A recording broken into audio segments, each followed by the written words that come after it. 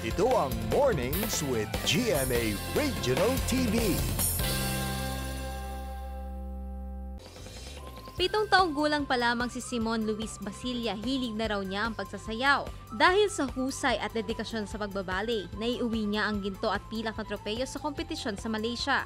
Ano nga ba ang kanyang mensahe sa mga aspiring ballerinas?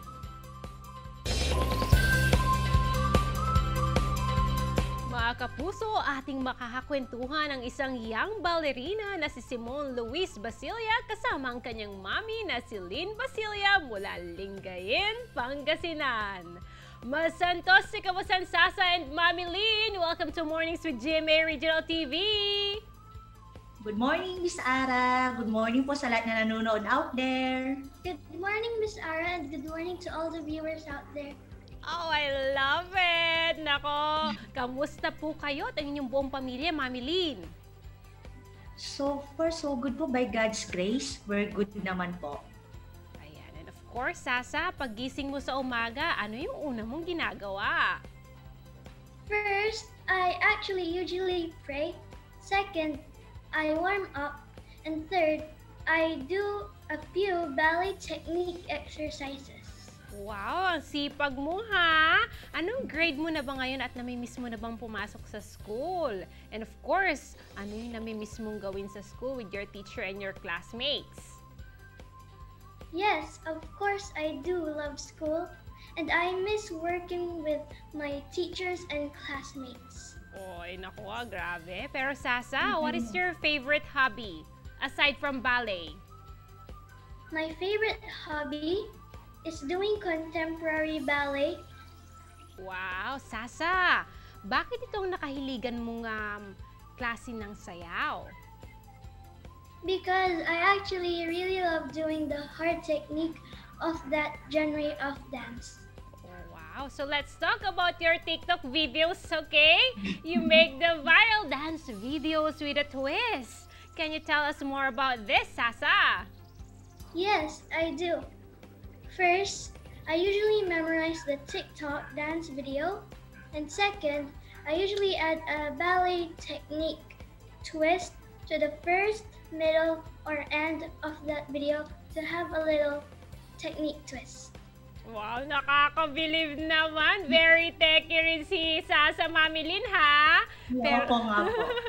Sasa, masaya ka bang nagpa-perform at nagsasayaw sa harap ng maraming tao? Yes, of course. Yes, pero ano bang gusto mong maging uh, paglaki mo, Sasa? Ano yung dream or dream job mo? I really want to become a neurosurgeon and a professional ballerina. Oh, grabe, Mami Lynn! Ang galing!